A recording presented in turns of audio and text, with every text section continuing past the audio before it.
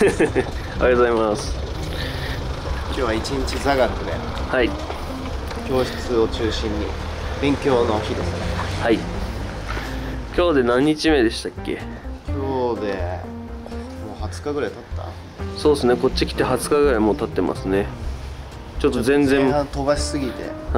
チームみんなで風邪ひいちゃって ちょっと鼻声なんだけど。はいまあ今ここスターシティ内の GCTC あのガガーリンコスモノートトレーニングセンターの中なんですがセキュリティがすごい厳しいのねうんなのでここに入ってくるときには毎回毎回このロシア語のねちゃんとカードを使ってセキュリティこれ通して入ってくるんだけど、うん。うん、授業にこれから行ってきます。はい。はい。今日も頑張ります。はいお願いします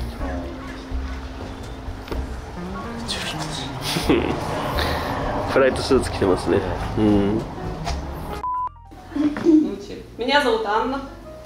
Good А, morning, my name is Anna.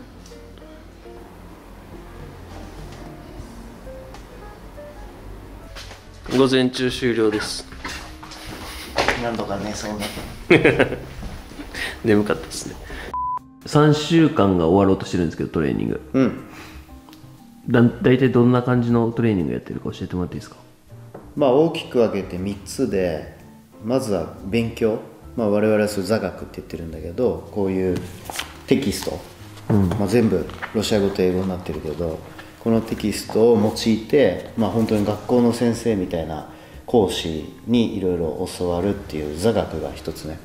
あと今回宇宙に行った時に滞在する予定の国際宇宙ステーション ISS の、え1分の1モックアップ。それの中に入って実際の船内の生活を、まあ無重力空間ではないけれども再現してみるようなプラクティカルトレーニングっていうのがその2つ目。で 3, つ3つ目がまあ単純なフィジカルトレーニング。走ったりとか泳いだりとかトランポリンでやってみたりとか。まあとにかく体を鍛えましょう、まあ、大きく分けてこの3つのあのトレーニングメニューを毎日こなしてます。なんか面白いトレーニングありましたか？まあ全部がね学ぶことが新鮮で興味深いことばっかりだから面白いんだけど習うことのほとんどが何か非常事態があった時のそのバックアップ、あの何にも起きなければ一切習わなくていいことが実はほとんどなんだけど何にもない時っていうのは何も意識することないわけ。あの全部が自動的にオートマティックにこうあの制御されてるからただそのオートマティックに制御されてる機械に何かあった時にどの部分で何の問題が起きて何が足りないのかもしくは何が異常なのかっていうのを一つ一つ勉強しながら把握しないとあのよく分かんなくなっちゃうんでだから今回そのトレーニングを経てあロケットってこういうこういう仕組みで飛んでたんだとかあここまで空気のプレッシャーって大事なんだなとかドッキングって時速ね2万7000キロ同士のステーションと宇宙船がどうしたらそんなねあのミリ単位でドッキングできるのかとかねいろいろ疑問に思ってたことがとってもクリアになりましたね。うん。辛い授業ありますか？うーんまあ日本で俺フィジカルトレーニング全然やってなかったから、走ったりするの結構きついよね まああと水泳とかもねクロールとか久しぶりに泳いだりして、うん、楽しいけどまあまあ体には負担がきてます、うん。うん。今度公開したいですね。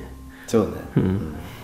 ロシア語はやっぱりいまだになんか二言三言しかまだちゃんと話せないというかご挨拶程度しか話せなくて。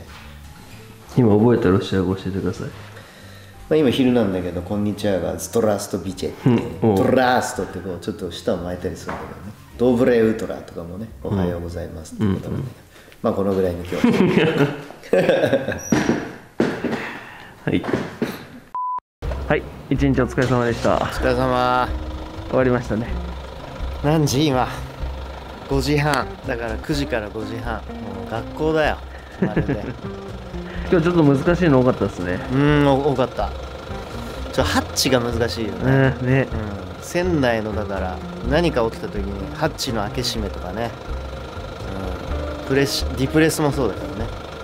気圧の変化をかんあのしっかりウォッチしないといけないっていうね。はい。はい。でもう今5時半ですけどここからモスクワに向けてまあ1時間半ぐらいで到着7時とはい。だから出発が7時半の帰りも7時っていうことで、うん。約12時間の一日が終わりました。はい。今日もお疲れ様でした。明日もまた。頑張りますはい。明日も。お疲れ様でした。はい。い